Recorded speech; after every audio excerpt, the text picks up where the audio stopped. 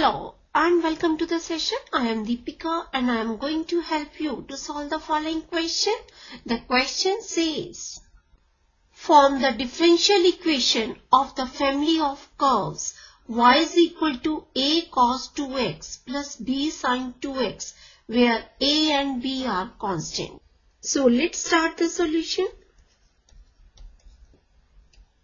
Now we are given the equation of the family of curves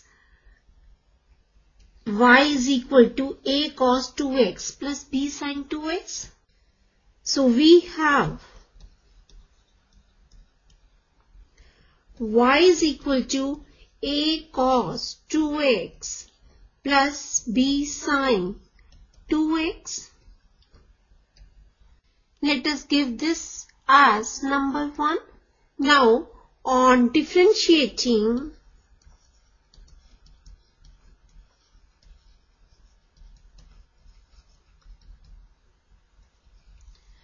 both sides of equation 1 with respect to x. Successively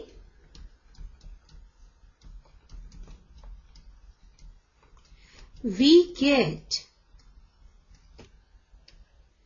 dy by dx is equal to minus 2a sine 2x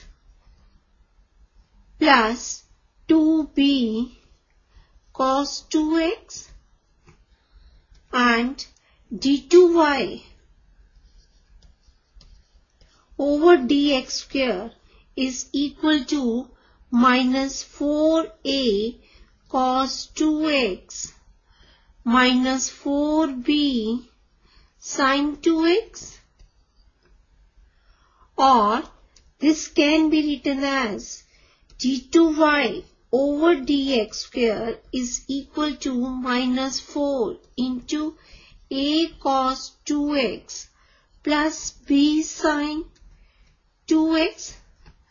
Let us give this as number 2. Now from equation 1 we have y is equal to a cos 2x plus b sin 2x. So by using 1 in equation 2 we have d2y over dx square is equal to minus 4y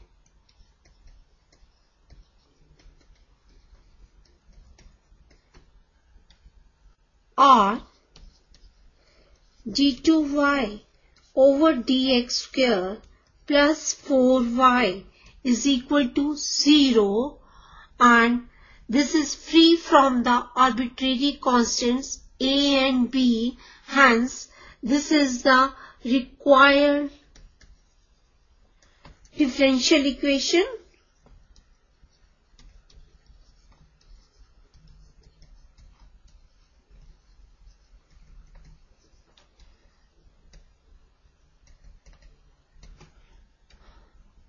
So this is the answer for the above question. This completes our session. I hope the solution is clear to you. Bye and have a nice day.